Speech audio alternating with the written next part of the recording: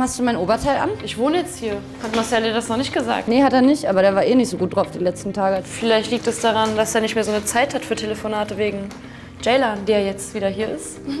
Ich erfahre von deiner Schwester, dass deine Ex-Freundin hier in der Stadt ist. Komm hier hin, ihr sitzt hier irgendwie, oh, wie so Das ist ein... ganz falsch. Wie lächerlich ist die Nummer denn? Marcel hat mir echt einiges zu erklären. Joe hat mich so krass verletzt, ich kann nicht mehr. Peggy, er liebt dich. Glaub mir, der hat noch nie eine Frau so angeguckt, wie er dich anguckt, ehrlich. Schatz, ja! Ja, ich will! Schatzi! Ich wollte dich fragen, Ja! willst du meine Frau werden? Ich weiß ja nicht, was ich sagen sollte, war schon immer mein Traum, schon seit so vielen Jahren. Ruf mich an, Amaretto! Hier ist der neue Schlagerkönig, hier ist meine Nummer!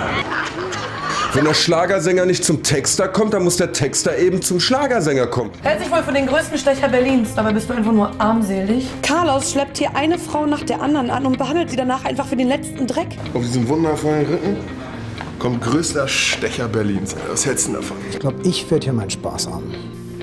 Nicht im Ernst. Verarscht ihr da drauf?